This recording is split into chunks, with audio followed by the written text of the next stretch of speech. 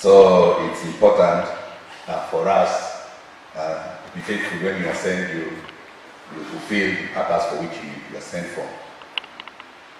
Another thing is, um, I was given a very interesting topic conflict resolution. And I thought, are you people fighting? Is there trouble anywhere? We have been told, take it to the Lord what? In prayer. So instead of asking me to come, you would have just prayed. In Jesus' name. Whenever there is trouble, people pray. Say amen. amen. So then I wondered why. Because um, when I came in, I saw some graphics, some photographs, some picture, whatever it was, of uh, these fighting machines. What, what do we call them? Tankers. Tankers, you know. By the way, you, you, you pair with me. Where I come from, there may be too much of uh, what we call mother tongue interference. So just pair. Because I know even if you come here yourself, you, you may be worse.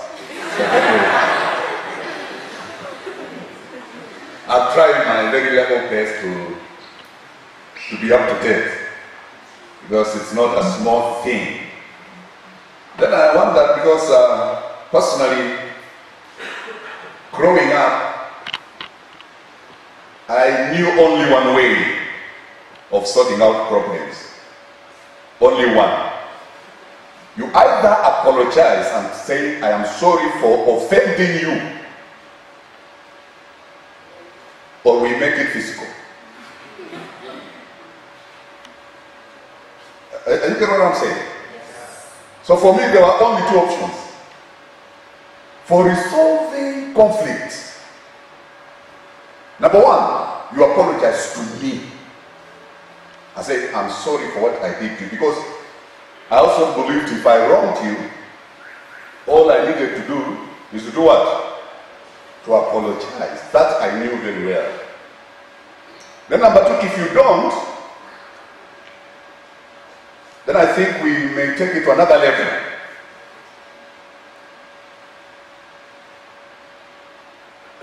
And the level was always you either flow me or I do it. Growing up, I grew up by fighting man. I was a bomb fighter. Other than being bomb fighter, I trained to fight. Other than training myself to fight or being trained to fight, I trained people to fight.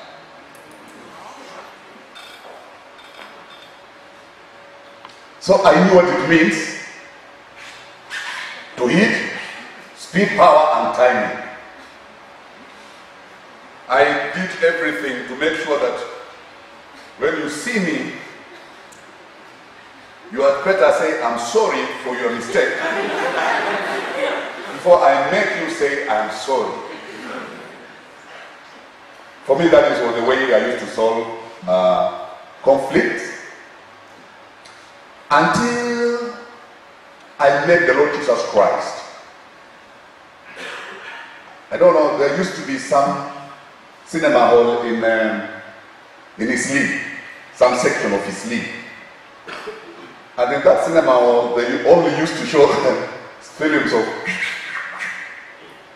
And that's why we spend our time, most of our time, watching. And when you leave that place, you are charged. You're serious. In fact, you're saying, May I meet someone who will not say sorry? Maybe you'll never do this again anyway.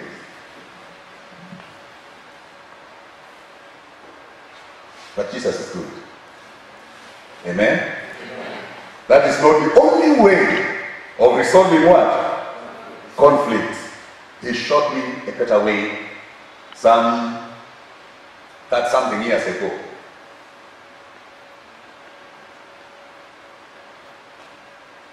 And I thank God none of my children took after me in that area. As you, as, as you may very well know, The gentleman who introduced me told you I'm married. Uh, me and my first wife, um, and the only one, we have several children. Uh, where I come from, we don't number children uh, because we believe chochote chaweza kutokea wakati wowote. So in the in our vocabulary, we don't have last form. We are the youngest. So our youngest child is um, 36 going to 37 with some uh, grandbabies and counting, you know. So the Lord has been gracious. I do preaching at a church called Guru Baptist Church. Uh, that is where I minister. Other than being um, uh, a pastor, I, I taught for 17 years. Um, I resigned. I did not retire. I resigned in 2001 and started preaching seriously like I'm going to do today. But today I will not necessarily preach because the topic looks like one that needs teaching. So many amen. Conflict resolution. So I will not talk a little, uh, a little longer about myself, but I may just mention a few other things as we move. When I looked at the topic, uh, you had some expectations.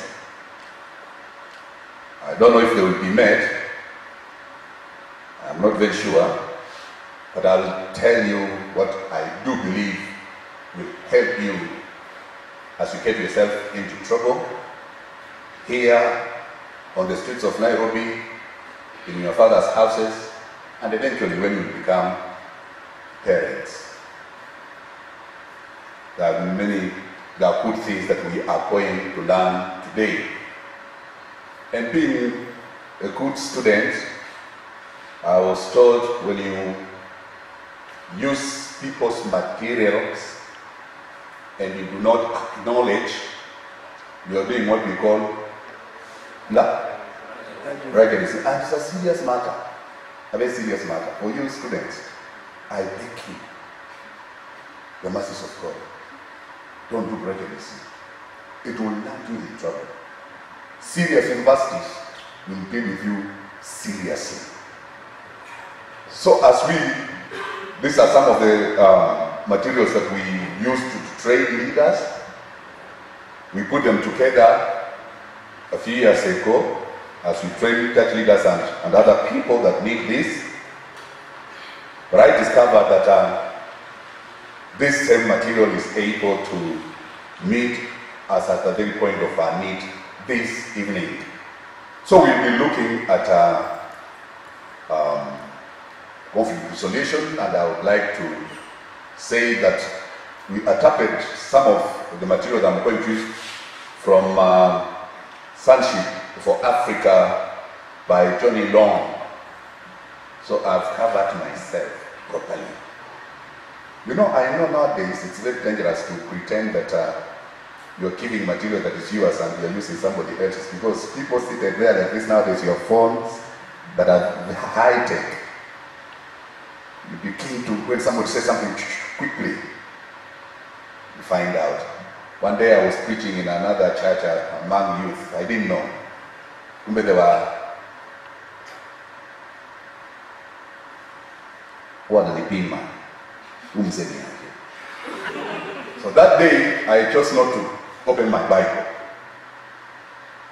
So I would only refer and, and quote my scripture uh, without reading.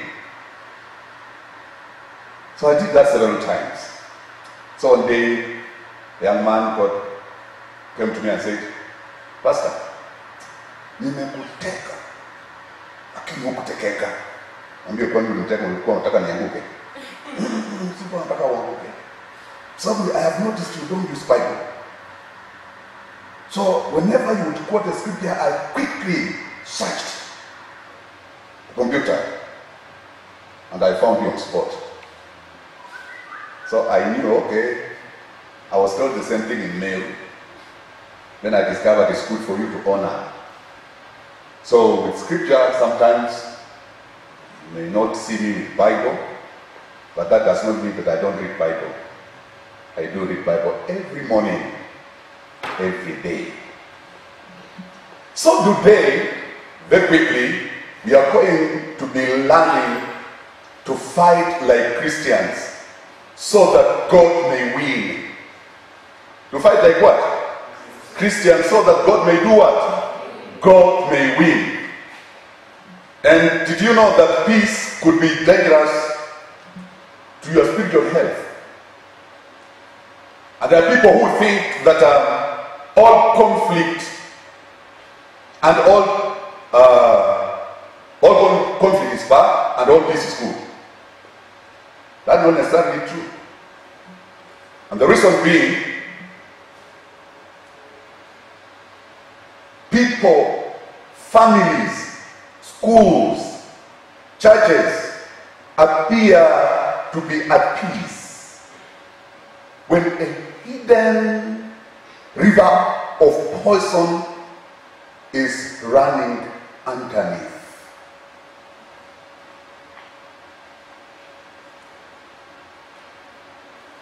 Why?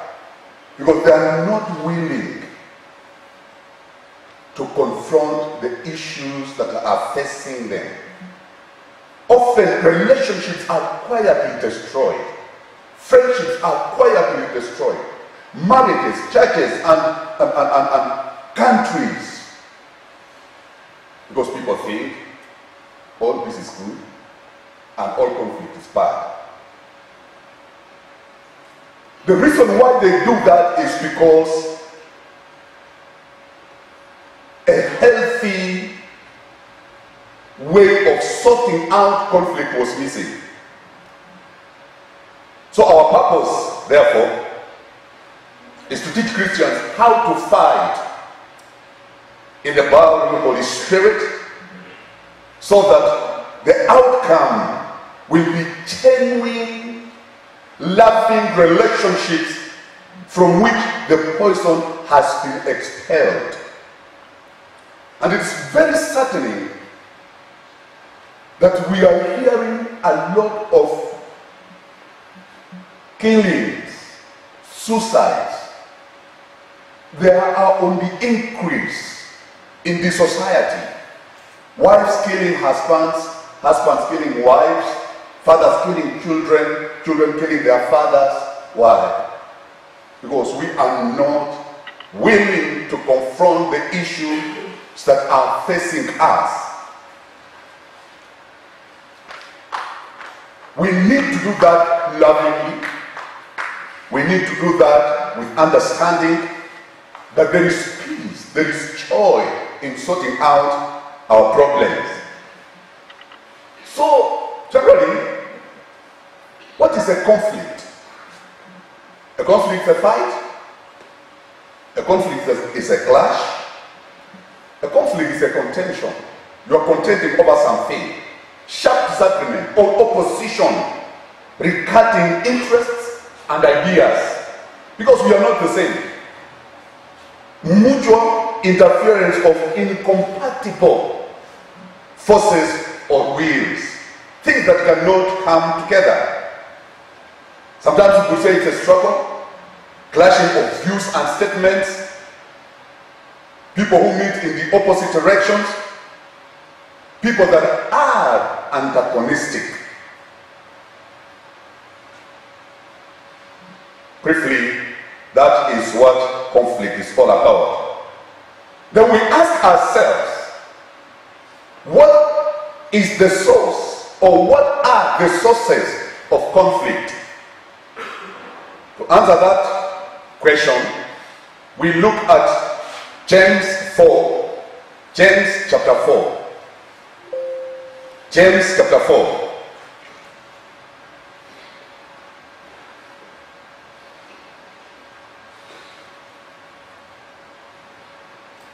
In James chapter 4, verse 1 to 2, James chapter 4, verse 1 to the Bible says, Where do the conflicts and quarrels that go on among you come from?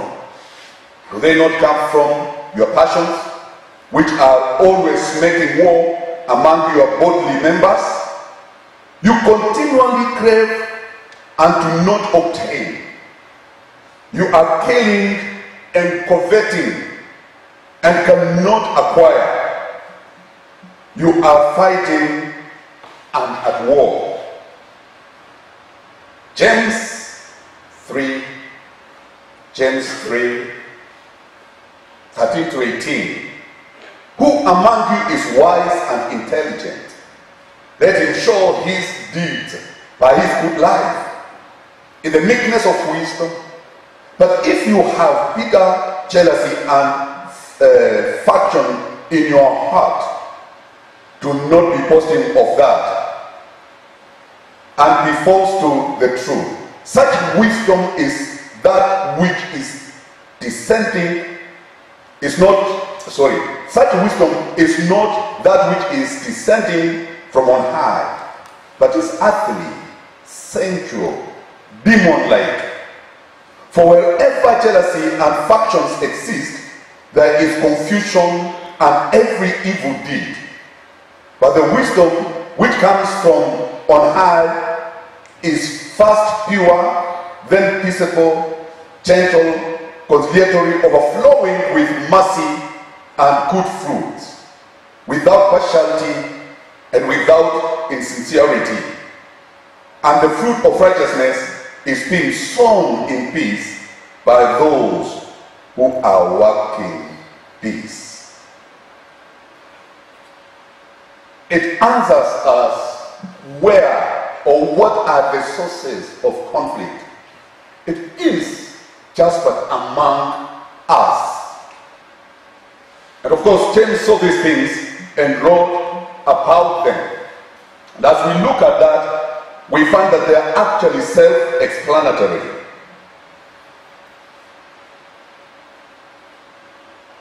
My dear brothers and sisters, whether we like it or not, living on planet Earth, day in, day out, we will have conflicts. Sometimes it is not even conflict with somebody else, it is conflict with yourself. You remember one day Jesus saying, The spirit is willing, the flesh is weak. Those two are always conflicting to the point that you do not know, you do not do what you desire to do.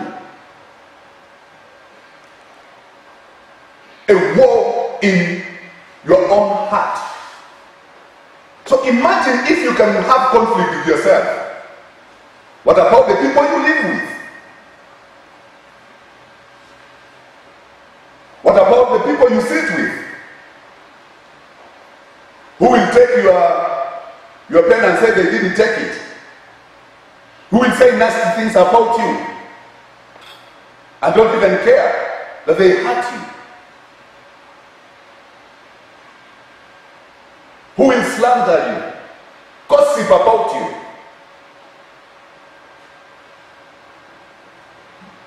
So long as you are living more than two people in a place, believe me, you,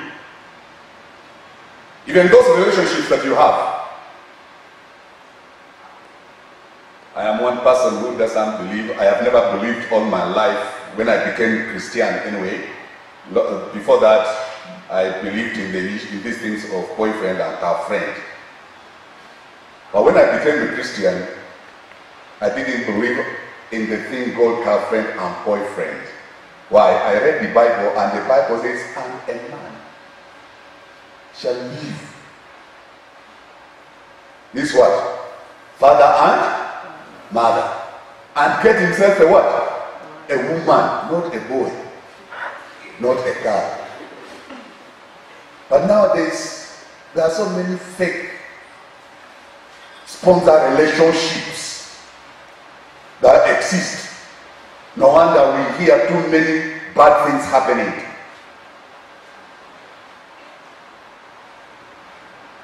I pray it doesn't happen to you in Jesus' name. Ladies, let me tell you something. You are not as cheap as the latest Mercedes Benz on the streets of Nairobi. You are not. Mm -mm. You are not as cheap as the roadside mandazi the Bible teaches and says, we are redeemed not with silver and gold, but by the precious blood of our Lord and Savior, Jesus Christ. So don't let people look at you and misuse you just because you are a woman.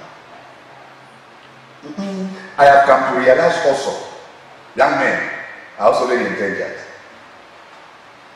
There are other women who are well endowed financially, and when they find you struggling, they will never lack conflict in any relationship. That's what I'm trying to say. So, how then do we resolve conflict when conflicts appear? Styles of. I'll, I'll mention five. Number one, withdraw. Some people used to do what? To withdraw.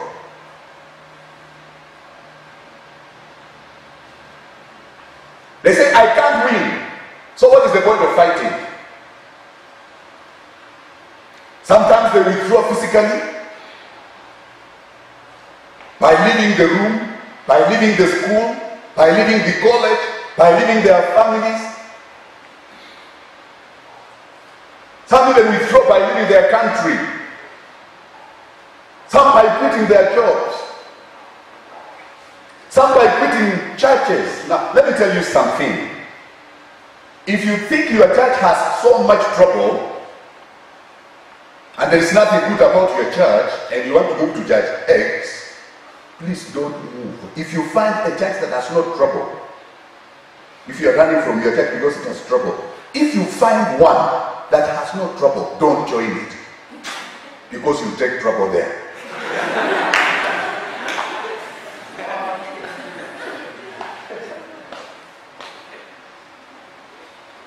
Others withdraw emotionally. It could be an emotional withdrawal, avoiding controversial issues, avoiding emotionally charged situations, or difficult people involved in the conflict. What is the problem of that? The problem with that kind of uh, way of resolving conflict is withdrawal is not the solution, nor is it a loving thing to do. It is a strategy of self love and self protection. It solves none of the issues involved. The issues remain. We only postpone them for a later time because they will resurface. If we can't deal with them, if we withdraw. Sometimes we are, we, we are wishing they just went away quietly.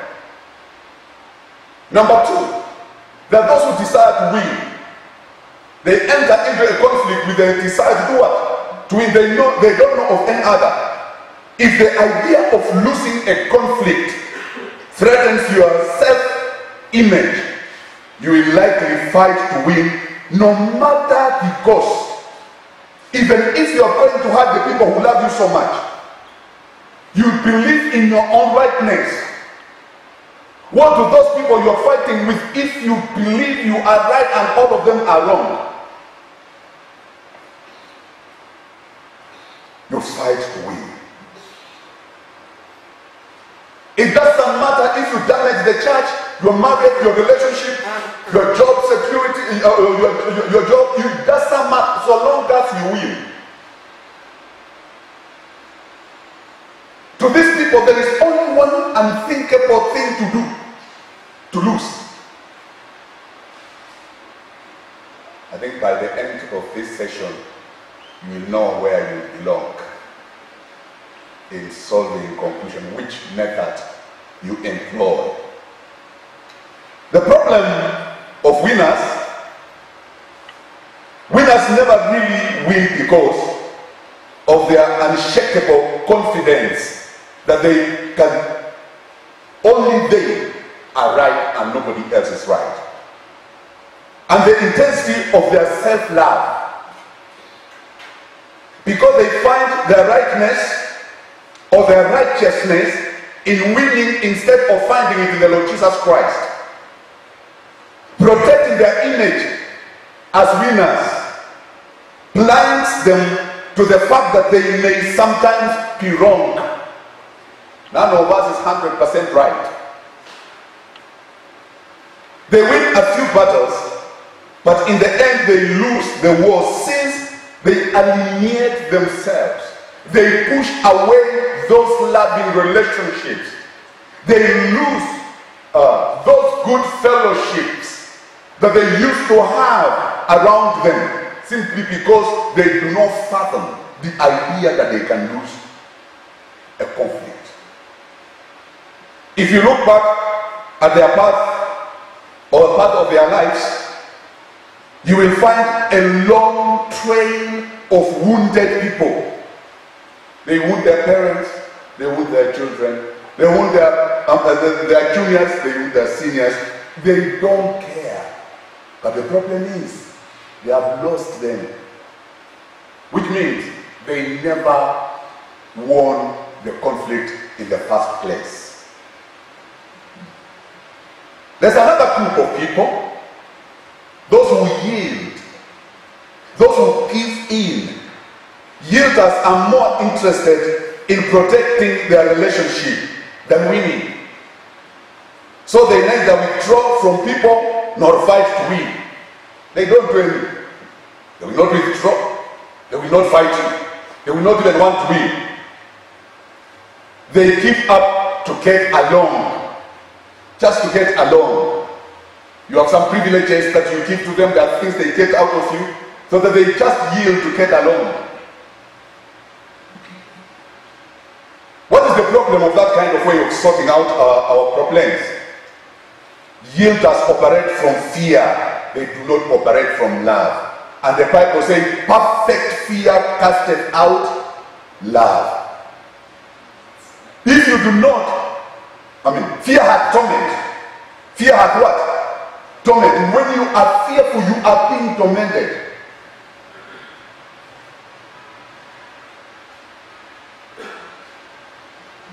There is no fear in love. Perfect love casted away fear. That's according to John, the book of First John. And you know, they fear losing friends, they fear losing status, they fear being rejected. Let me tell you something. At one point or the other in life, you'll be rejected. You'll be rejected in your place of work, you'll take your credentials, they say you are not fit to work for them. That's rejection. You will propose, and she will look at you and wonder where you are born. How could you do a, how could you do such a silly thing? And that's a form of rejection. Some of you, you wrote love letters. You got a regret. That was a rejection. You applied for a course that you are not admitted. You felt rejected. You proposed something, an opinion. People said, really? One people of Korea you felt rejected. So rejection is real. I have been rejected at some point. I've also rejected other people. So or situations, let me so speak like that. So their agreeable nature is a cover up for a paralyzing self-love. They accomplish very little. Are those who compromise. Number four, compromise or compromisers know how to manage themselves during. They're very strategic. They know the art of giving up a little now in order to win more later. Don't think you, you won. Those compromises, they are very strategic. Listen, the problem with compromisers, compromisers may be close to the ideal than the other above. That is, those who yield, those who fight, to win. But their strategy is not loving. It is just a cover up for a long term win. They compromise during conflicts. They don't care much about it in order to earn the right to extract later in the in, in future. They will force an outcome. How will they do this? On the surface, things may appear gracious, but they only aim at gaining the long term advantage. Listen to this, they will tell you. See, the other time, see, the other time I let you have it. Today, I don't you let me have it. And when it matters to them, and when it is disadvantageous to you, but because they you saw them giving in the other time, you are obliged to give in.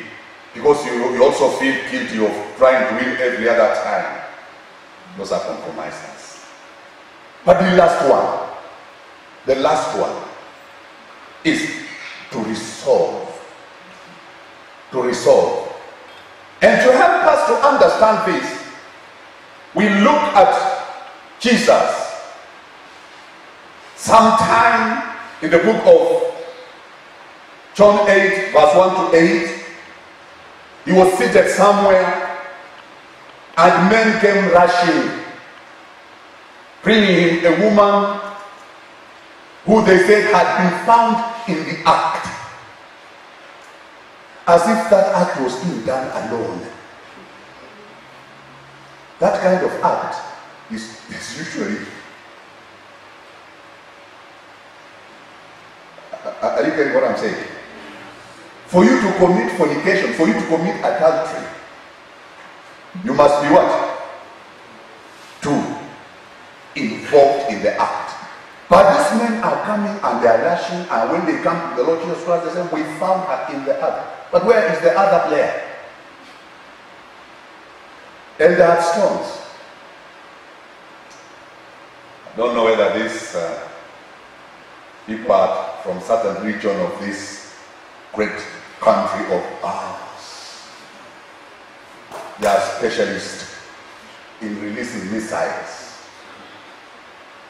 But anyway, the, the point is this. When they laid the story before Jesus, Jesus used his own style.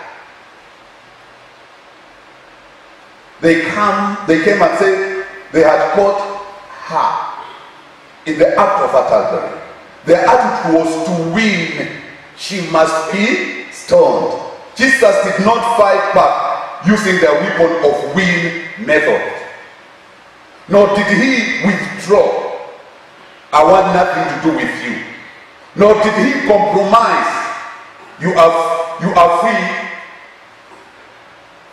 So oh sorry, you free her now, but if you find her later, stone her. He didn't say that. He confronted the real issue by challenging them to consider the difference between the law and mercy. He revealed their hearts for the cold and laughing stones they were, showing them that they too had failed to keep God's law from their own hearts. Who won in this conflict? God did. God was glorified. He challenged them to balance between justice and what? Mercy. He didn't give in to them. He aimed at having the conflict resolved. And that's what we are saying. This part of conflict resolution is what we call resolve. The method of resolve. The conflict has to be resolved. Then we ask ourselves another question. What is the goal of conflict or constructive conflict resolution? Because other uh, conflicts are resolved in ways that are not so constructive. And that is why machetes, pangas, stones, words, angry words, and all those manner of things happen. Our call for entering into conflict and any conflict must be to glorify God and not winning. One day, Paul wrote and said in 1 Corinthians 10 11, that one, 1 Corinthians 10, that one, what, whether therefore you eat or drink, or whatsoever you do, do it to the glory of God. In other, in other words, everything that you desire to do, make sure that it glorifies God. How can God get glory out of our conflict? And how much glory does He get? Think of what the difference is.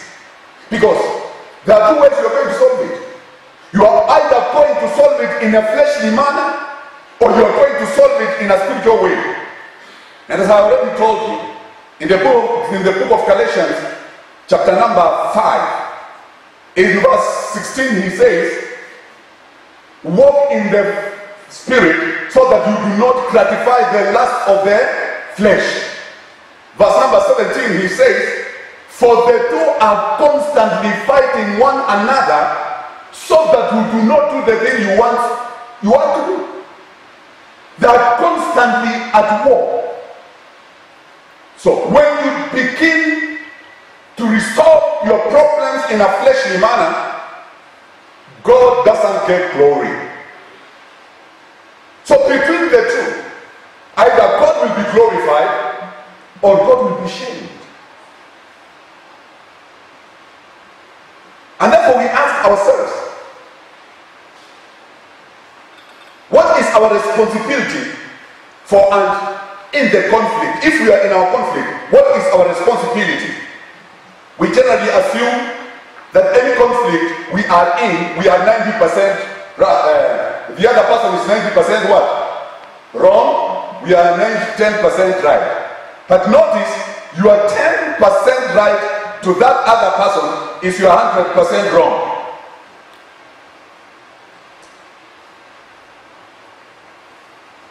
I hope you get that. Because everybody is thinking they are what? They are right. And for that reason, we need to understand. If we accept the percentage as the truth, it is also true that your 10% of the blame is 100% of your part of the problem. You can't change the other person, but you can deal with your 100%. It's not easy to change people. By the way, you do not control what people do to you. You control what you, how you react to what people have done to you. The fact that you have abused me, I can look at you and choose to abuse you back or not abuse you. So it is very, very important how you react when people uh, wrong you. Be honest. If God is to get glory from your conflict, it will start with your acceptance of the responsibility that you have contributed into the conflict coming up. You have to accept that I have contributed in one way or the other. Otherwise, you will be neutralized and will not be able to draw on the power of the Holy Ghost or the Holy Spirit to turn the matter into a constructive experience of learning and growing in that part of the conflict. Because we learn from the conflict, we grow when we resolve conflict not when we win, not when we compromise, not when we yield, not when we withdraw. We must face it squarely and lovingly.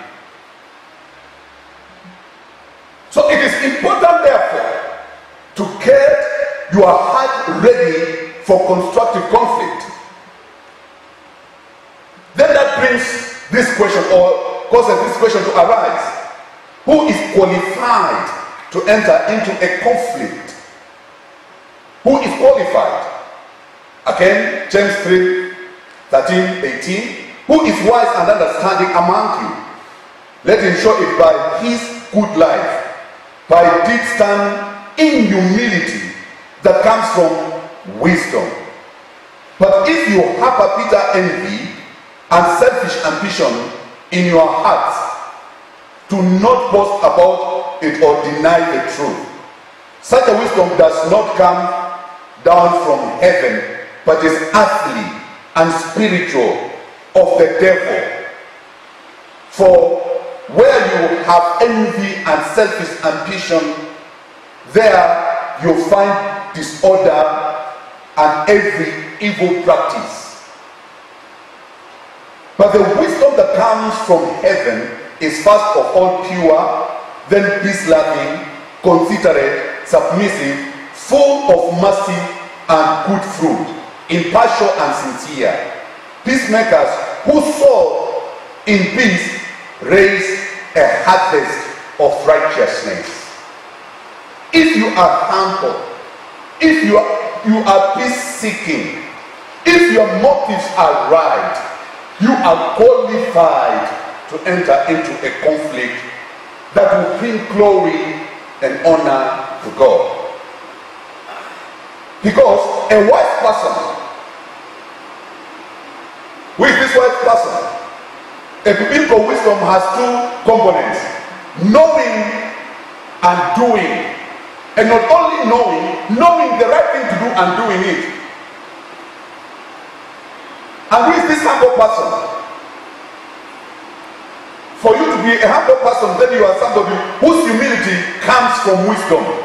Humility is born as we daily keep the truth in mind the sinfulness of our heart in the book of um, Jeremiah chapter 17 verse 9, verse 9 says the heart is deceitful deceitful deceitfully what?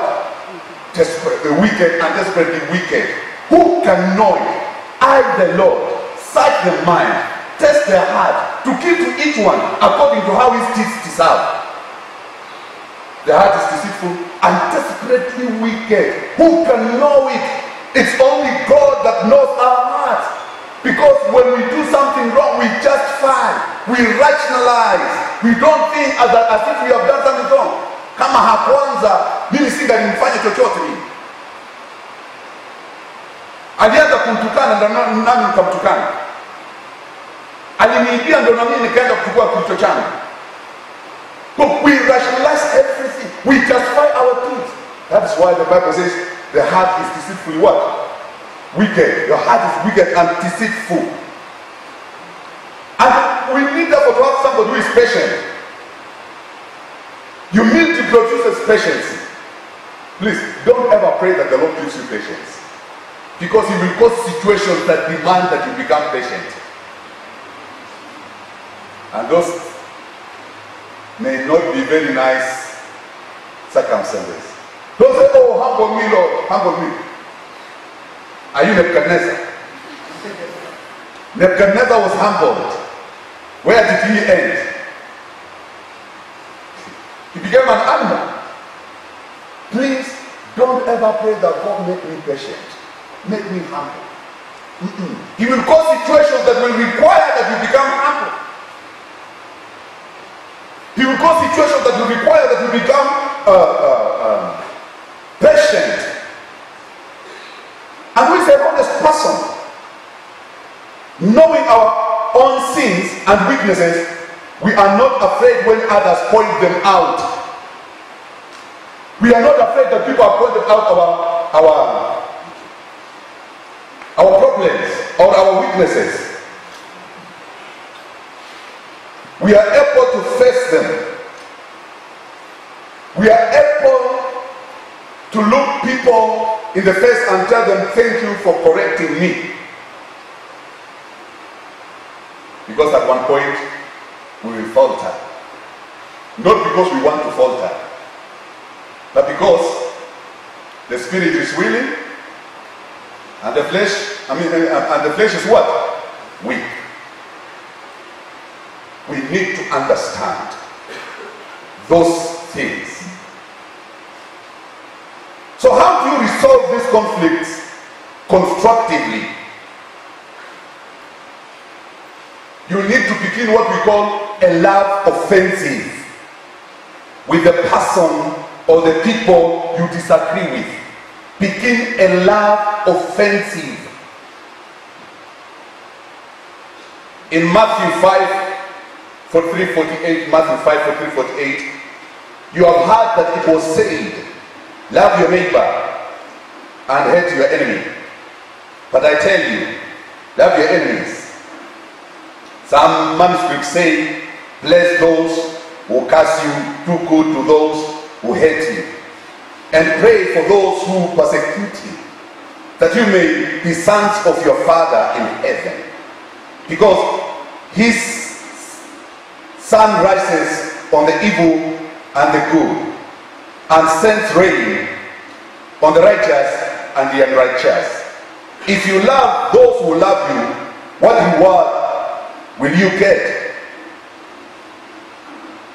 Are you not like the tax collectors doing that?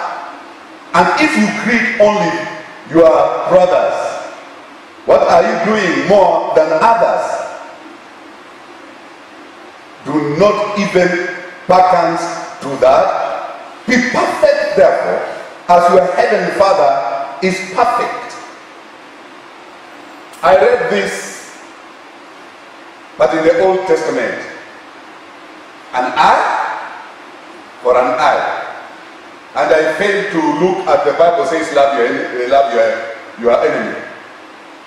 So I had my cloth written, love your friend, hate your enemy.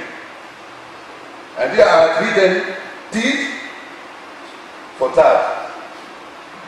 And here I have written, an eye for an eye. And that was me. On my cloth. So that you know who you are dealing with. I told you, as at the beginning of this, that I believed in vengeance, in revenge, but God. So many amen. amen. So before you enter into the this conflict you want to resolve, understand the importance of information, repentance, and forgive. Gather information not from others, but from the person to whom you want to resolve the issues with. Understand his point of view.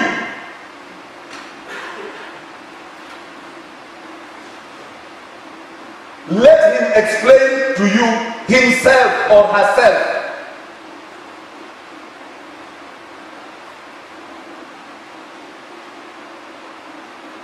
Will get information, and from that information, then you can begin to handle the issues that you have. Dr.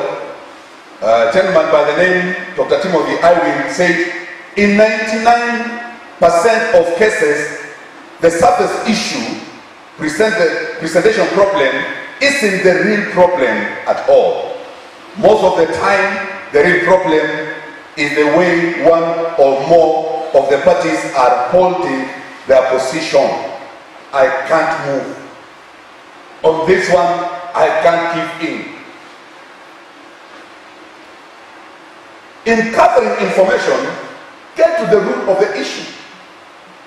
The cause of problem. The best way to gather information, as we have already said, do not dialogue with other people.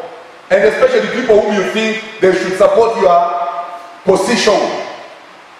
Be careful not to enter into the trap of disagreeing with others because we dislike their point of view, or we want to project our problems to them, or we are suspicious of what will have will come out.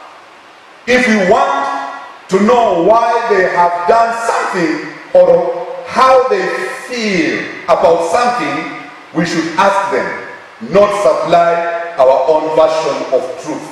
Ask them. Don't tell them this is the way to go. How come you did this? You'll be surprised that they didn't have a problem. It is you who had a problem. And then ask yourself, now that I have gotten the information, is there a way I need to repent? Should I take the step of repenting?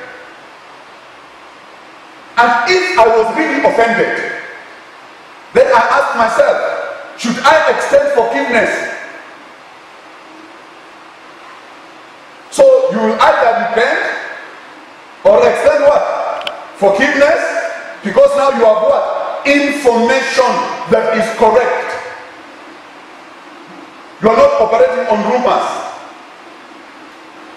You know what it is that you want to do.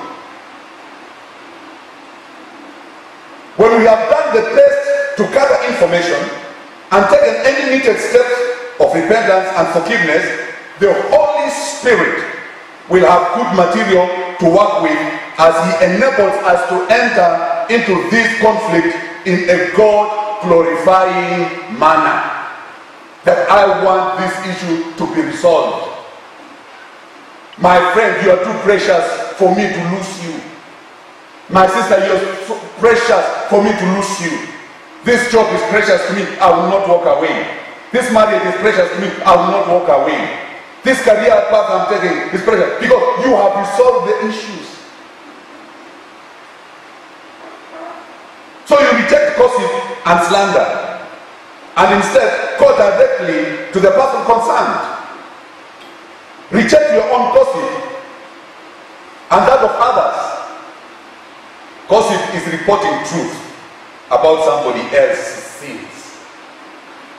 Reporting truth about the sin of somebody else. Hey, your heart like this. I understand the same man. Anyway, no wonder the Bible says, not all who say Lord, Lord. Hey, na ukimwona akiimba hapo mbele atatuongoza na pambio. Anyway, anyway, acha tumwombee tu. You are gossiping. And Christians are very good at that. Acha tumwombee. Confessing someone else's sin, that is gossip. He didn't ask you to go and confess the sin on their behalf. Slander is untruth, either telling direct lies about someone else or reporting unproven judgments about their motives or actions. Untruth, of this, this one is so much in our political arena.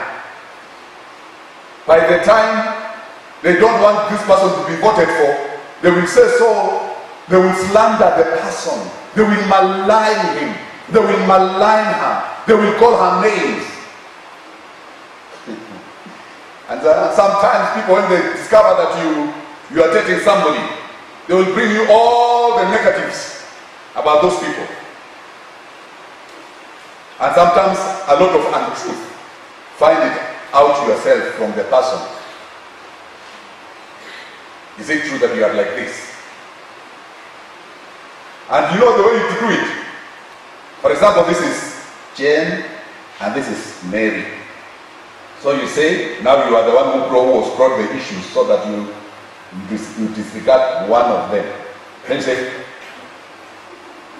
Jane, Mary told me when Mary is there that you are ABCD.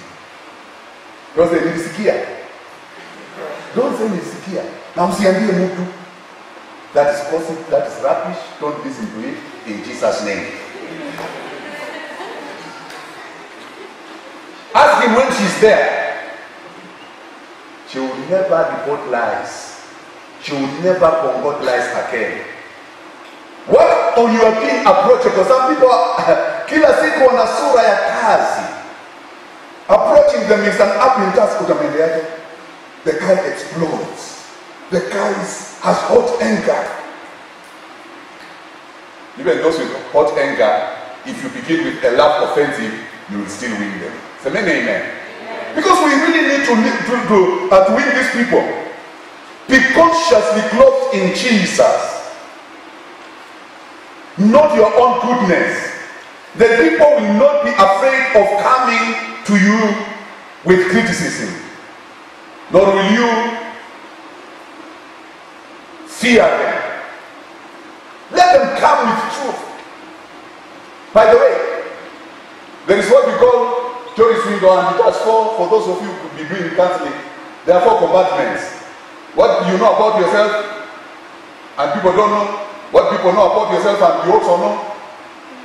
What, what people don't know about you, and you know. And the fourth one, what nobody else knows, not even yourself, but God. Are you getting the point? So somebody can know something about you that you do not know. So when they come to tell you lovingly, please don't lose your temper because they will help you to solve the problem. Learn to communicate openly. Tell the truth with gentleness, spoken in love. In the fruit of the Spirit, in Galatians 5 23, we have gentleness. Be a gentle person and speak what you are speaking in love. Ask questions rather than making accusations. Don't accuse, ask questions, probe, find out whether what you have.